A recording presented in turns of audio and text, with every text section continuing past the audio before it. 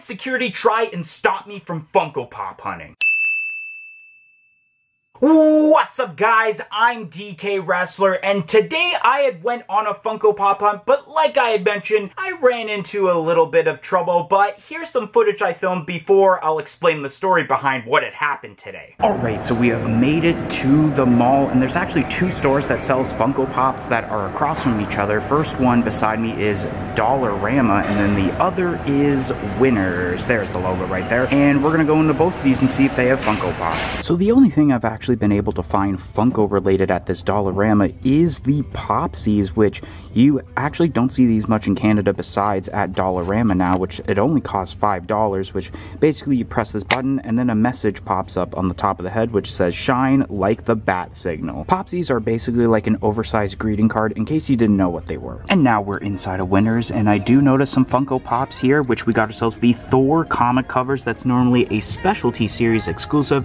E.T. in disguise. Do see a Mandalorian pop back there, but I also did notice right here the WinterCon 2022 exclusive Spider-Man, which is pretty decent, and you can definitely tell why this isn't selling, considering that there is tape all across the box, probably because the window is pretty dented.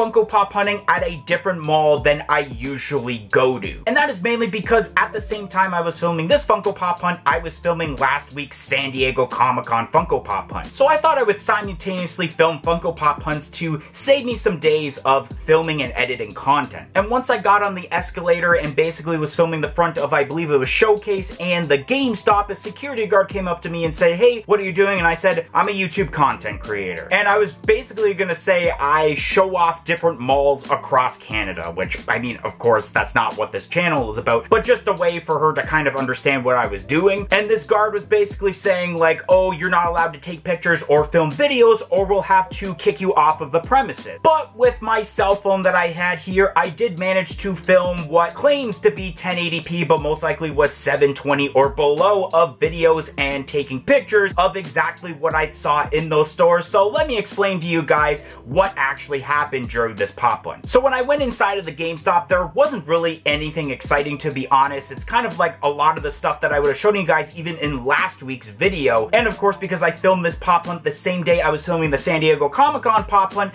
they did have some of the exclusives. However, I was looking at some of them, including the Kermit, which looked alright at first, but then when I flipped it over, the back of the box was completely mangled, which sucked because, of course, I had to pick up that Kermit pop for MD Shady since he was working, and that's usually how it works. And then he also wanted the Elmo, which looked alright, but it looked like the Elmo was trying to escape the box not only from the store, but maybe because of that security guard also. And then across the way was Showcase, the store where it's basically as seen on TV products, but they do have Funko Pop. And if you've ever been to a Showcase before, you normally know that they have really overpriced Funko Pops. Especially the fact that I actually seen what normally was the original Target exclusive Pikachu that released in 2018, but it was re-released selling at $40 Canadian at retail, which is absolutely ridiculous to sell that pop back considering that guarantee you could probably buy that in the secondary market for much cheaper and with the Target exclusive sticker nowadays. Beside that was Sunrise Records, which was the Canadian equivalent to, of course, FYE. And they didn't really have much Funko Pops either considering they're actually on their way out of the game soon. The only great pop they probably had was the San Diego Comic-Con 2023 exclusive Wicket with Slingshot from Return of the Jedi. And other than that, then maybe there was also FYE exclusive Dragon Ball Z pops,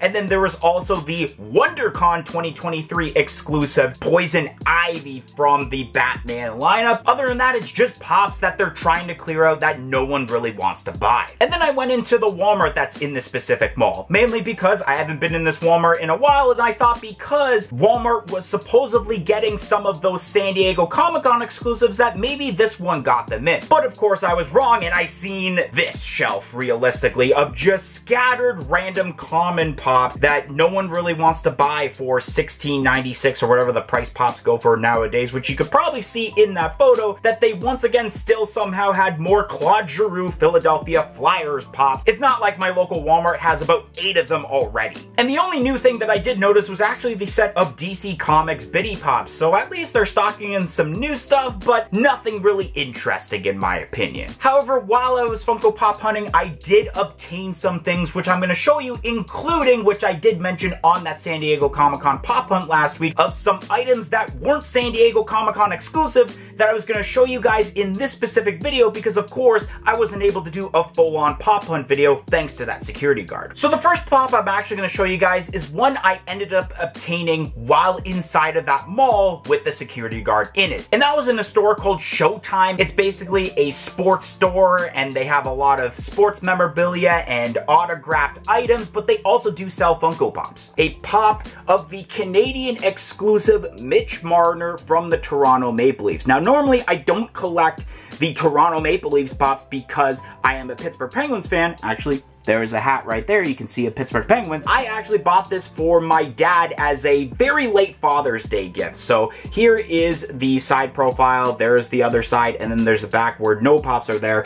And I know I'm late for that. But of course, if you guys have been following the channel, you guys know that in early June or throughout the month of June, I was on a pro wrestling tour. And I didn't end up seeing my dad for Father's Day because I was gone. So now that I'm back home the last couple of weeks, I finally be able to figure out what I'm going to get him for Father's Day. And he's a fan of the Toronto Maple Leafs, so he'll enjoy this pop very much. Now I'm going to show you guys the non-SDCC stuff I got from Hot Topic, and the first pop I'm going to show you guys is the new Ozzy Osbourne, which is basically mid to late 1980s version with the way that his hair is and the attire, which is really awesome. Number 404 in the Pop Rocks lineup. That really awesome Ozzy Osbourne logo. There is the pop art form, and there is a closer view inbox of what he looks like. It's kind of hard to really see, but he does have some nice details in terms of the tattoos on his chest. There's the side profile for one side, the side profile for the other, and then on the back it shows no other Ozzy Osbournes for the lineup besides what you got here, which I guess there is a better closer view right there. Let me cover my face there so you can actually see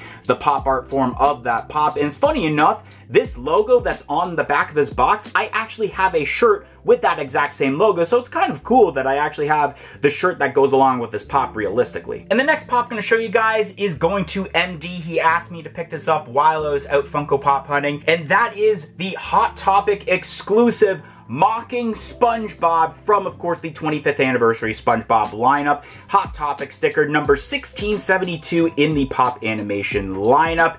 And there is that face of mocking SpongeBob, which looks absolutely hilarious. Actually, let's do the side view like this so that we can actually see what SpongeBob looks like when he's doing that pose. That's actually pretty crazy. And the fact that this actually can stand up straight without really even needing a stand unless, does this have a stand? No, it doesn't have a stand. Because I noticed in one of Top Pop's videos that he actually was able to stand this properly without a stand. So that's pretty awesome. And then there is the other side profile of the box. And then on the back, it does show the wave that this is involved with and that SpongeBob 25th anniversary logo. So we got ourselves, I believe, Rip Pants SpongeBob, the Krusty Krab Pizza SpongeBob, Fry Cook Games Patrick, the Caveman or SpongeGar SpongeBob, Doodle Bob, and then I believe that is the Glove World SpongeBob, which a couple of these we did see while we were at Hot Topic uh, in the other Pop Hunt video. So it is really cool that I was able to pick this one up for MD, and I know he was excited when I told him I was able to pick this up for him. And then the last pop I'm going to be showing you guys is a pop that I didn't even think was going to be on the shelf because I thought it was very super popular to where it would sell out, and it is also a Hot Topic exclusive, and that is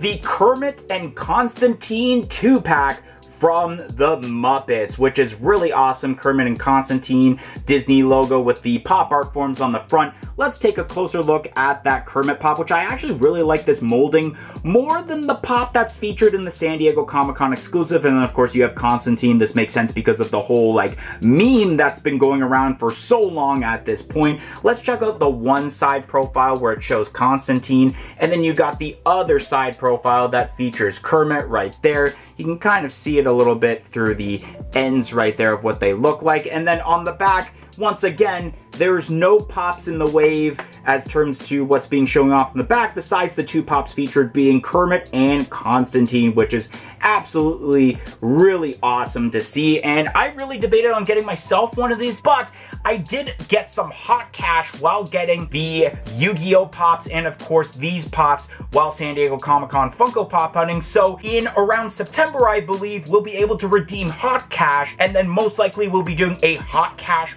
Funko Pop hunt when those hot cash are able to be used. Anyways, that's the end of today's video that was sabotaged by security guards. And if you enjoyed this pop hunt, don't forget to like, comment, and subscribe. Let me know down below about your opinion of this whole situation with the security guard and what pops maybe should I have picked up. And I hope to see you guys in the next video on the channel. One, two, three, I'm out of here.